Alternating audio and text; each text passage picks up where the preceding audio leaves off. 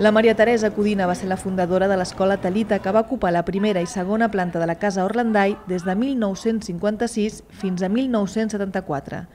Va decidir fer-se mestra quan es va donar que l'educació podia ser diferent tant els programes com la manera d'ensenyar, com la relació dels alumnes i els mestres, eh, la, la qüestió de l'autoritat, les relacions dels mateixos alumnes, els mestres descoordinats entre ells. S'ha de fer alguna cosa, això ha de ser diferent. Per això va crear un model inspirat en el que havia après durant un any a França i amb una atenció especial a la diversitat, els sentiments i les relacions humanes. Començàvem a escola privada, però no volia de cap manera una escola elitista. Una escola, doncs això com s'ha de fer?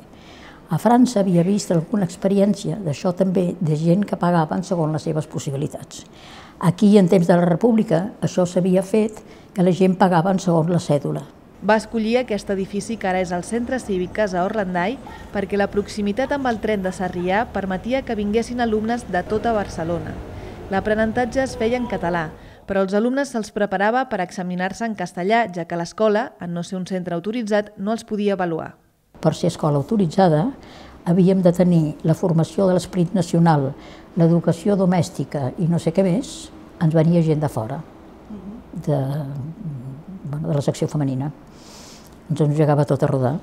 A l'escola van tenir molts impediments per part del règim i les inspeccions eren molt habituals. Quan a la, a la classe t'entrava un, un nen que no era de la teva classe amb un manyoc de llapis que no havies demanat, aquesta era la consigna, Llavors penjava la foto d'en Franco, posava la data en castellà, agafeu les llibres de castellà, feu això...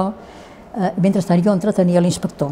Faig tot el recorregut, jo contentíssima de pensar lo bé que quedava tot, i acaba l'inspector i diu, sí, lo he encontrado todo en castellano, pero aquí se respira en català. El centre va tancar als anys 70 per deixar pas a una nova educació pública, sorgida de la transició i nascuda de la llavor que projectes com l'Escola Talita van deixar a Catalunya.